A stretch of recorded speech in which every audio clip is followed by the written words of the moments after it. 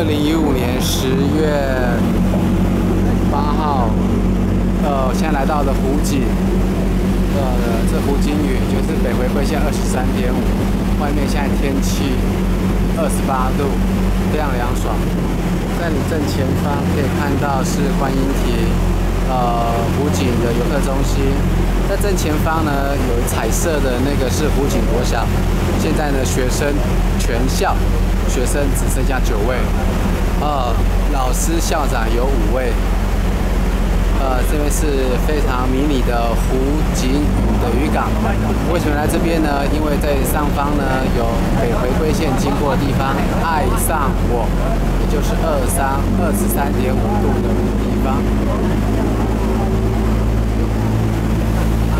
慢慢的离开整个湖景。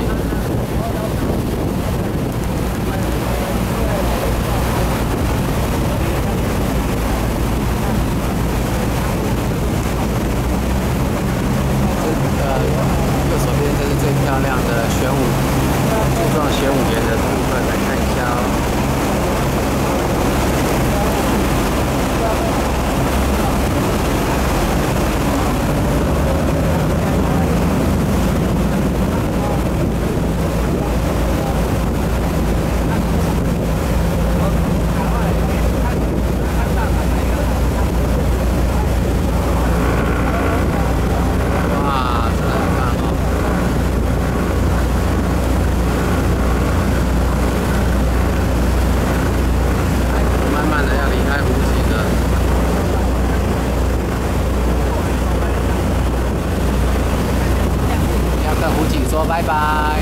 从湖景要坐船，大概二十五分钟骑到澎湖的码头。幸福台湾欢迎你，我是幸福的达人陈家祥，欢迎有空到脸书的幸福台湾，台湾就可以搜寻到幸福台湾 T A I W A N。今天是二零一，现在是中午的十一点三十分。吴景宇，拜拜。